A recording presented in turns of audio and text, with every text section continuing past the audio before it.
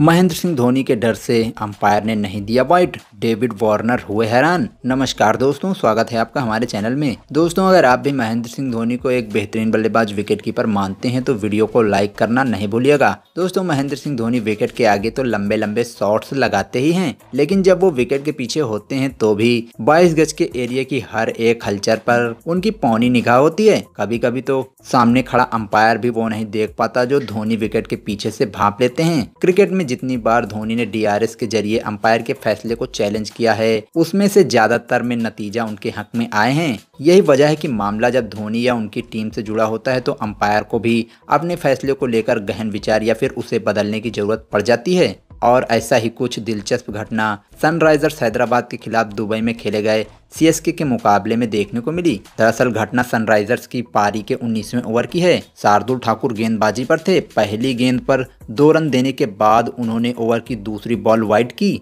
जिसे शार्दुल ने फिर से डाला। इस बार गेंद फुल यॉर्कर थी, जो ऑफ़ साइड के आखिरी छोर पर पड़ी। फ़ील्ड अंपायर पॉल रिफेल इसे भी वाइड देने के लिए हाथ उठाने ही जा रहे थे, पर शार्दुल उनसे उलझ पड़े। वो फैसले का विरोध कर रहे थे। देखते ही देखते धोनी भी इस मामले में कूद पड़े। धोनी ने विकेट के पीछे खड़े रहकर ही पॉल रिफेल को कुछ कहा, जिसे बाद अंपायर को अपना फैसला मजबूरन होकर बदलना पड़ा।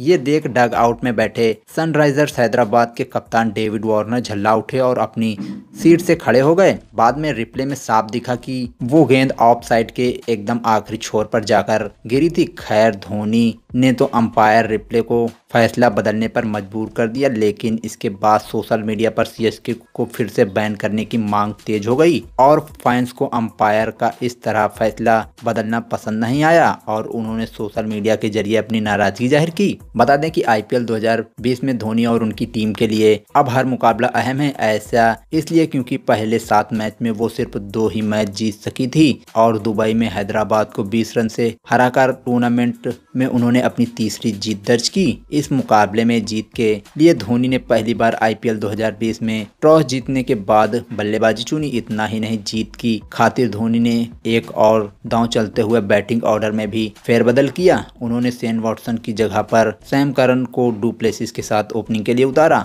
धोनी के अचानक लिए गए ये फैसले कितने कारगर रहे, इसका सबसे सटीक उदाहरण यही है कि चेन्नई ने मैच जीत लिया, जिसकी उन्हें सख्त ज़रूरत थी। दोस्तों, फ़िलहाल के लिए वीडियो में बस इतना ही। आप भी इस सब बारे में अपनी राय नीचे कमेंट सेक्शन में ज़रूर दीजिएगा। साथ ही आपका कोई सवाल या सुझाव हो तो आप उसे भी कमेंट करके हमें ज़रूर बताइएगा। ज़्यादा जानकारी और क्रिकेट की अन्य तमाम खबरों के लिए आप चैनल को सब्सक्राइब करें। हमारे द्वारा दी गई जानकारी पसंद आई हो तो वीडियो को लाइक और शेयर ज़रूर करें। धन्यवाद।